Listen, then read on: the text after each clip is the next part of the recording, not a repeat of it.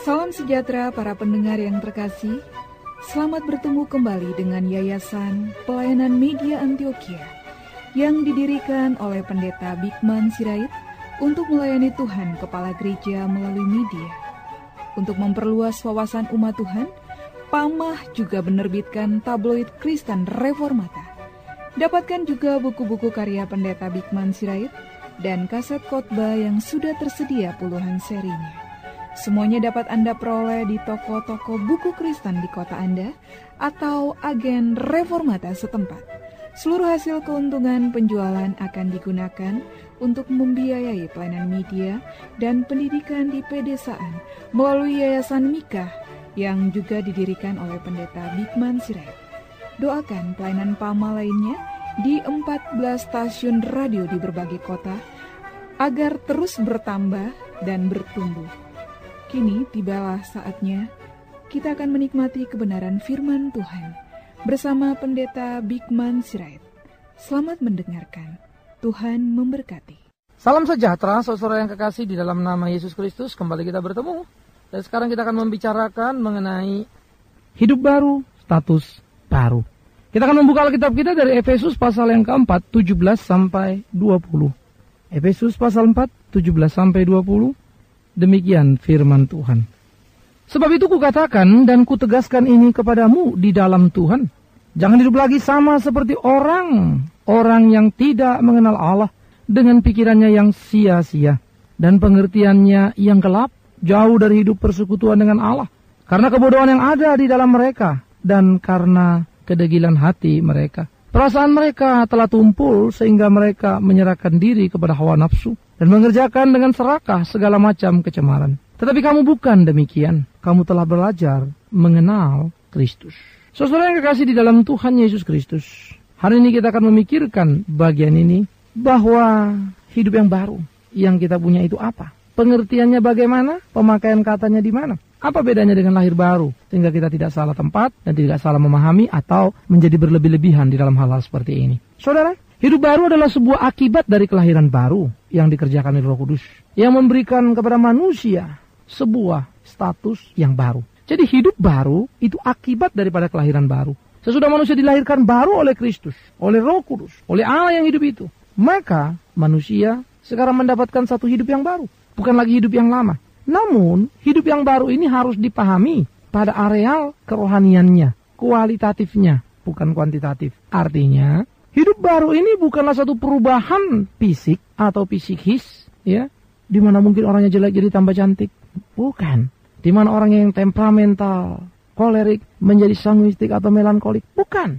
Bukan itu, saudara. Tetapi perubahan-perubahan yang dimaksud menjadi hidup baru adalah bagaimana kemudian dia mempunyai arah hidup ke arah yang pas, ke yang dikehendaki Allah, sehingga orientasinya adalah kepada Tuhan, bukan kepada diri. Itu hidup yang baru. Mengapa begitu? Karena dia sudah dilahirkan baru. Dia bukan lagi hidup yang lama. Hidup yang lama sudah mati. Sudah ada satu kebangkitan yang hebat di dalam kebangkitan Kristus yang menghidupkan dia. Sehingga oleh kuasa roh kudus, dia mempunyai satu kelahiran yang baru. Yang memberi dia dia satu hidup yang baru. Sehingga hidupnya sekarang berpusat kepada apa yang menjadi kehendak Allah di dalam perjalanan hidupnya itu sendiri. Nah jadi saudara yang kekasih, hidup yang baru adalah anugerah yang luar biasa yang diberikan kepada anak manusia. Hidup yang baru, satu status yang baru. Ini berarti hidup yang berpindah dari lama ke baru melalui satu kelahiran baru yang kita sebutkan tadi. Maka hidup yang berpindah dari lama ke baru otomatis akan tampak jelas perbedaan kualitas hidupnya itu. Hidup yang lama yang berorientasi kepada diri menjadi hidup yang baru yang berorientasi kepada Allah. Hidup yang lama yang digambarkan Alkitab sebagai satu hidup orang yang tidak mengenal Allah dengan pikiran yang sia-sia. Hidup dengan pengertian yang gelap, jauh dari persekutuan dengan Allah karena kebodohan yang ada di dalam mereka dan karena kedegilan hati mereka. Mereka bodoh. Sekarang orang yang sudah mempunyai satu hidup yang baru, sudah dilahirkan baru, tidak lagi menjadi orang yang bodoh. Namun, pengertian bodoh di sini juga jangan disalah mengerti. Pengertian bodoh di sini adalah satu pengertian yang rohani, bukan matematis. Artinya, ini bukan menyangkut akinya jongkok apa nggak jongkok begitu ya. Orang sangat pinter, raja matematika, ahli fisika, orang yang paling hebat, intelektual paling jago, bisa menjadi orang yang paling bodoh untuk mengenal Allah karena dia akan berkata tidak ada Allah. Ia menjadi seorang yang ateis, omong kosong Tuhan itu kalimat dia. Tetapi ketika orang dilahirkan baru pada satu status yang baru, maka dia mempunyai kemampuan pikir yang sangat hebat. Satu kemampuan berpikir yang mampu menangkap dan mengerti siapa Allah dan apa yang menjadi kehendaknya. Satu kemampuan berpikir yang sudah diperbarui oleh roh Allah. Dan diberi kekuatan kemampuan oleh roh Allah. Sehingga dia tidak lagi menjadi bodoh untuk mengenal siapa Allah. Dia tahu. Itu sebab orang yang sudah hidup baru di dalam satu status yang baru. Melihat ke belakang adalah melihat kebencian dan kegelapan. Ia selalu berpacu ke depan untuk menjangkau pengharapan yang Tuhan sediakan. Dan dia selalu berjalan di dalam iman. Hidup yang baru atau status yang baru adalah satu status yang merdeka dari kuasa dosa. Sehingga dia hidup lagi tidak terjajah. Dia hidup tidak lagi diatur atau dikelola oleh dosa. Tapi dia sekarang hidup merdeka. Ia hidup menyuarakan suara kebenaran dan hidup sesuai kebenaran. Nah orang yang punya status baru saudara-saudara. Yang disebut menjadi merdeka ini adalah dengan satu contoh. Banyak orang salah mengerti dan berpikir ketika orang dilahirkan baru dan mempunyai satu hidup yang baru maka mereka terjerat mereka terkurung pada peraturan-peraturan jangan, jangan, jangan. Nggak boleh inilah, nggak boleh itulah, nggak boleh apalah. Wah terikat. Gitu. Kalau nggak kenal-kenal begituan kan nggak perlu lahir-lahir baru. Jadi kita bebas dalam hidup ini. Mau mencuri kek, mau berjudi kek, mau mabok kek, mau pesta pora kek, nggak ada yang pusing. Kira-kira itulah lontarannya. Kasihan sekali. Anda salah mengerti. Mari kita bertanya, apakah orang yang mabok itu senang di dalam kemabokannya? Mari kita bertanya. Apakah penjudi itu senang dengan hidup judinya? Mari kita bertanya. Apakah mereka yang kawin cerai kawin cerai itu senang dengan gaya hidupnya? Mari kita bertanya, apakah seorang pembunuh pangga dengan karyanya mencabut nyawa orang? Saudara, semua akan berkata tidak, sekalipun sering kali tidak diungkapkan. Mereka hidup dalam kegalauan, kekacauan, tapi mereka tidak bisa mengendalikan dirinya. Pengen baik tetapi tidak berdaya. Akhirnya untuk menutupi segala kesalahan mereka tampil menjadi buas sebelum dipersalahkan. Lebih dulu mempersalahkan orang lain. Mereka lah yang terjajah. Itulah hidup yang kacau, itulah hidup yang dikelola oleh dosa, itu tidak merdeka. Yang merdeka itulah merdeka di dalam Tuhan, karena tidak lagi dijajah oleh dosa. Sehingga orang yang merdeka tidak akan melakukan pembunuhan, orang yang merdeka tidak akan melakukan dosa, sehingga dia tidak dituntun, tidak apa tidak dituntut, tidak dihukum, tidak ditekan oleh perasaan bersalah. Yang menjadi merdeka, free, bebas. Apa yang dilakukannya sesuai dengan kehendak Tuhan. Membawa dia menikmati hidup ini. Dan tidak ada hal yang menakutkan bagi dia. Karena dia tidak mempunyai musuh dan tidak pernah menciptakannya. Dia tidak berbuat dosa dan membuat hati Allah menjadi duka. Tidak. Menjadi satu status yang baru.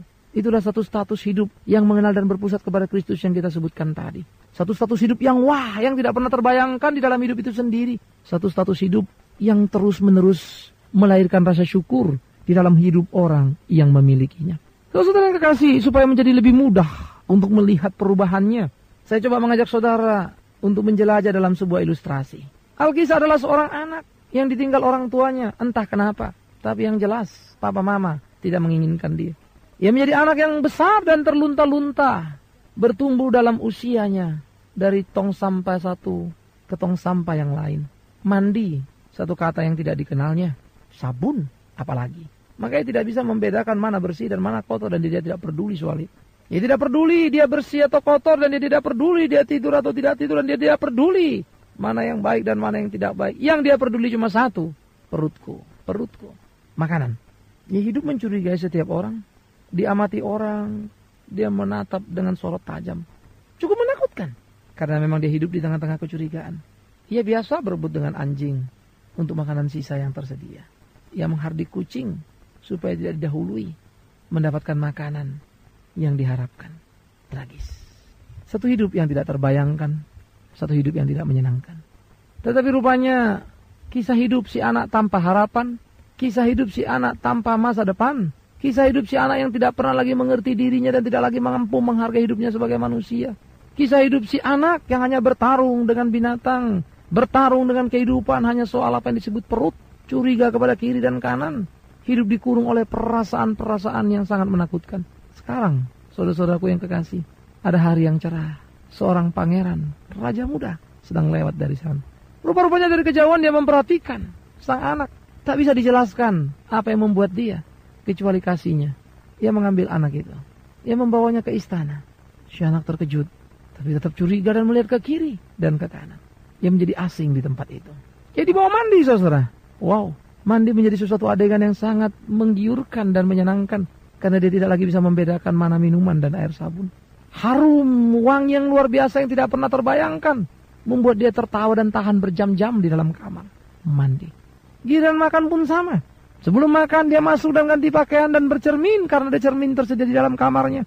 Dia berputar ke kiri ke kanan menatap wajahnya seakan tidak percaya siapa saya ini.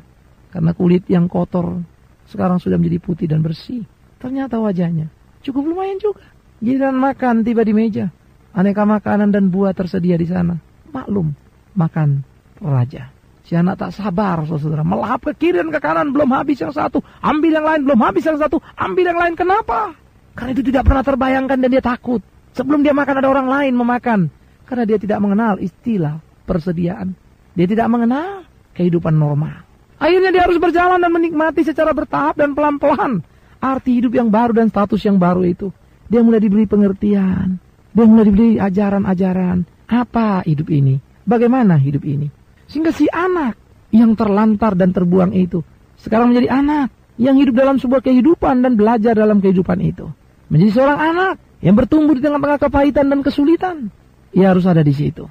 Saudara yang kekasih, tidak terlalu pas, tapi itulah lukisan pertobatan kita.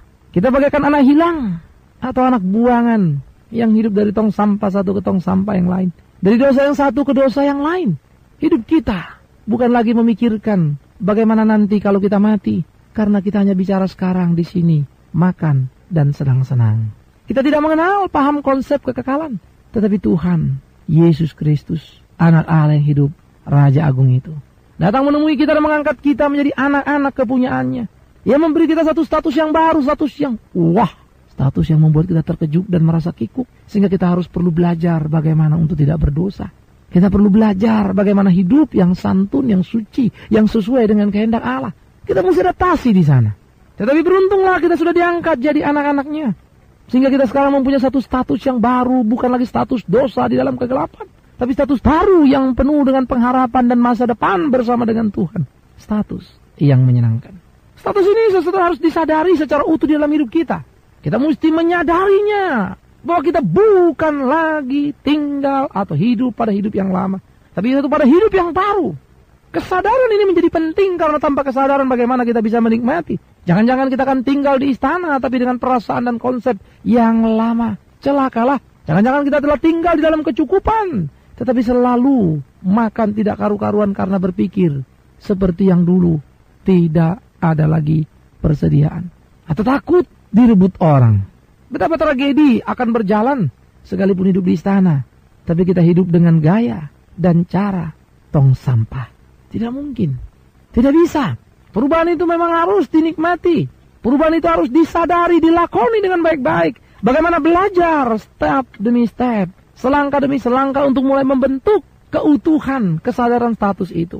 Karena itulah dalam satu status yang baru, karena hidup baru yang didapat, maka manusia-manusia baru tidak lagi boleh melakukan seperti apa yang dilakukannya dulu di waktu yang lampau. Ia tidak lagi boleh terjerat kepada perangkap-perangkap yang salah.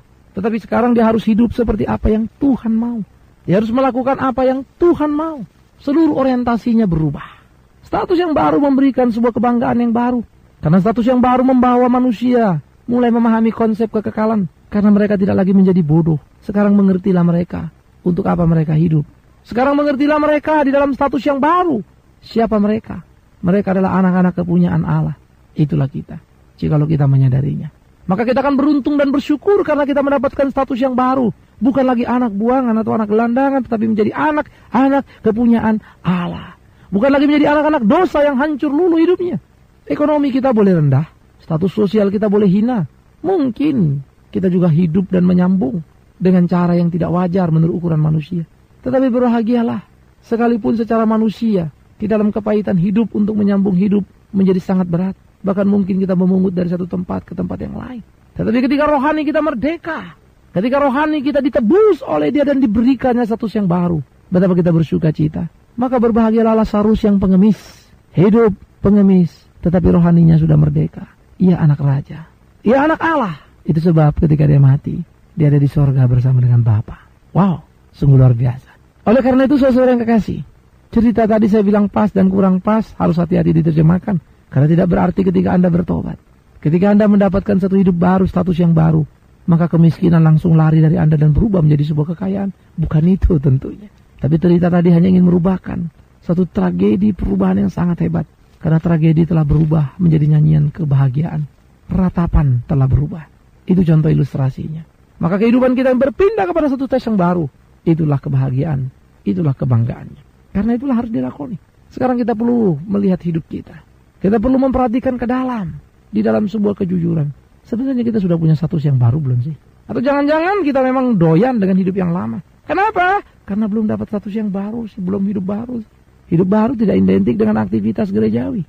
Hidup baru status yang baru, sangat identik dengan hubungan pribadi bersama dengan Tuhan. Hubungan yang diwarnai dialog dan ucapan syukur, kekaguman akan keagungannya. Kata-kata yang tidak henti memuliakan karena cinta kasihnya. Status baru satu status merdeka di mana manusia sekarang bisa menolak tawaran-tawaran dari gaya hidup yang lama. Status baru satu status merdeka di mana manusia-manusia Kristen bisa berkarya dengan cara yang luar biasa. Status baru, hidup baru diberikannya dengan cuma-cuma. Pertanyaannya, sudahkah kita hidup baru? Jika belum, anda tidak akan pernah bisa. Karena Anda harus dilahirkan baru. Dan dilahirkan baru hanya belas kasihan Allah. Keselamatan bukan barang murahan. Tuhan tidak butuh manusia. Manusia yang butuh Tuhan. Tuhan mencintai manusia, memberi diri kepada manusia, bukan karena dia butuh manusia. Tolong jangan salah ngerti. Kita butuh Tuhan. Kita butuh cinta kasihnya. Maka berbahagialah kita, sekalipun Tuhan tidak membutuhkan kita. Tapi dia sangat mencintai kita kita yang harusnya binasa. Ia memberi kehidupan yang melampaui akal dan pikiran.